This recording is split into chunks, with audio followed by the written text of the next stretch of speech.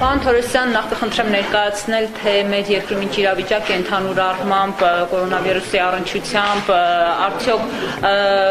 ընդհանուր առմամբ վերահսկողությունը պատշաճ իրականացվում է, քանի որ տեսնում ենք, որ Չինաստանում այդ դեպքով արձանագրված բազմաթիվ դեպքերը շարունակում են ավելանալ, այս առումով մեր երկիրը որքանով է պատրաստ հնարավոր դեպքերում նաև կանխարգելման առումով եւ վերահսկողության առումով բոլոր անհրաժեշտ հակահամաճարակային միջոցառումները իրականացվում են, ինչպես բազմիցս հայտնել ենք, նաև ամենօրյա ռեժիմով թարմ տվյալներ են ներկայացնում մեր երկրում արձանագրված կասկածելի դեպքերի եւ դրանց արդյունքների, բարեբախտաբար մինչ օրս եղած բոլոր կասկածելի դեպքերով կորոնավիրուսային վարակ չի արձանագրվել, այդ թվում նաև լաբորատոր տեստավորման միջոցով շարունակում է հսկողությունը սահմանային անցակետերում, ջերմաչափումը, որից հետո ուղեկցումը բնակավայր եւ տեղամասային պոլիկլինիկա, իսկ կլինիկական ախտանշանների դեպքում արդեն հիվանդանոցային օղակ։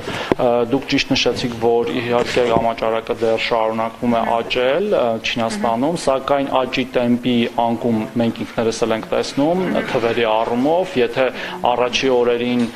տոկոսային աճը օրական 20-30% էր հասնում, հիմա արդեն 20 եւ 20-ից ցածր տոկոսների է եւ Չինաստանի իշխանությունների կողմից արված քայլերը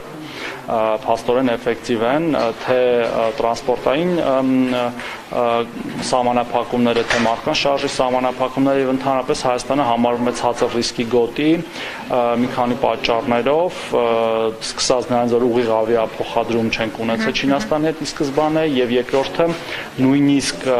տարանցիկ ավիափոխադրումների սահմանափակումների շնորհիվ կամ պատճառով Չինաստանից Հայաստան եկող քաղաքացիների ուղևորների թիվը շատ փոքր է եղել եւ մեր կողմից էլ դրված սահմանափակումները վիզային ազատականացված ռեժիմի ժամանակավոր կասեցման առումով նպաստել են նրան, որ մենք պրակտիկորեն չունենք Չինաստանից դեպի Հայաստան եկող ուղևորներ, որոնք հնարավոր վարակի աղբյուր կարող էին դառնալ։ Մեր ուղևորների մասով 3 եղավ, մեր քաղաքացիների մասով 3 եղավ քննարկում փոխվարչապետ Ավինյանի մոտ եւ եղան հանձնարարականներ բարձելու թե ցանկացողների թիվը ինչքան է եւ տեղափոխման հարցում պետությունը ինչ աջակցություն կարողանա եւ պետք է ցուցաբերի այդ մասով արտգործնախարարությունը հավելյալ ինֆորմացիա կհայտնի անհրաժեշտության դեպքում Պարոն Թորիսյան այդ անձանց ովքեր ժամանել էին օրեր առաջ կամ գուցե նաեւ այլ երկրների միջոցով Չինաստանից տեղափոխվեն այլ երկիր եւ այնտեղից Հայաստան գան մեկուսացման խնդիր մի քանի օրով դրա կարիքը չկա թե պարզապես ստուգումը արդեն բավական Ոչ չկա որովհետեւ հակահամաճարակային միջոցառումները որը արվում են ըստ միջազգայինորեն ընդունված պրոտոկոլների եւ ցուցումների, այդ թվում առողջապահության համաշխարհային կազմակերպության կողմից հենց կողմից ձևավորված մշակված հենց կորոնավիրուսի դեմ պայքարի եւ մեկուսացում այս պահին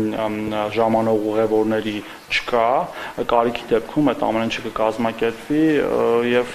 կարող եմ ասել, որ մեր հակահամաճարակի միջոցները շատ արդյունավետ են մեր ունեցած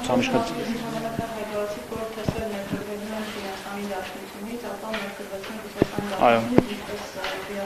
Ավելի շուտ եղավ Ռուսաստանի Դաշնությունից ներկրել, դրա համար որոշեցինք ավելի արագ ձեռք բերել, այսօր էլ եթե չեմ սխալվում, ստացել ենք ԱՀԿ-ից տեստերը կամ մաքսազերծվել են կամ կմաքսազերծվեն, դրանով այսքան ապահոված ենք։ Իսկն նաև ունենք առաջարկ Ճապոնիայից ստանալու տեստեր բոլոր դեպքերում, բոլոր հնարավոր տարբերակները քննարկվում են եւ ընտրվում ամենաարագ տարբերակը։ Իսկ պահի դրությամբ քանի, այսպես ասած, տեստը օգտագործել որոշելու կամ երկու դեպքից բացի։ 20-ից ավել, եթե չեմ սխալվում, բոլորը բացական են։ Հայտարարությունը եղել է մամուլի հաղորդագրությունը, կարող եք ճշգրիտ թիվը նայել։ Ամեն դեպքում կարևոր որ բոլորը բացական են։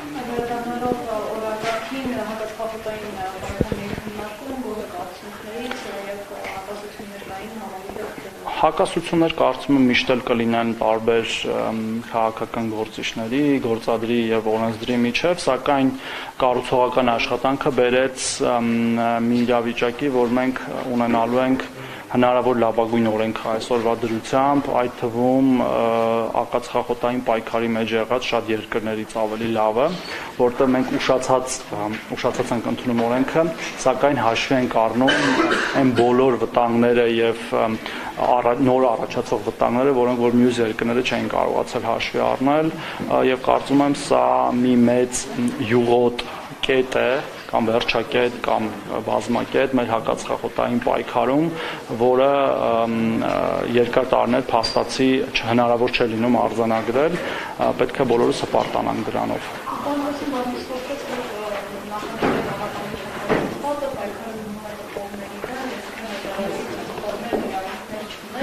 Ես նման բան չեմ հայտարարել, խնդրում եմ իմ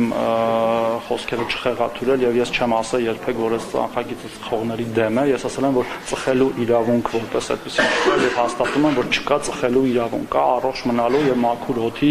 եւ կյանքի ընդհանրապես իրավունք, որը գերակա է մնացած բոլոր իրավունքների նկատմամբ։ Եվ օրենքը չափազանցված չէ, օրենքը ապացուցողական հենք ունի, բոլոր միայն ապացուցված գործիքներ են աշխատում, սկսած վաճառքի սահմանափակումների, ցուցադրության սահմանափակումներից եւ օգտագործման սահմանափակումներից։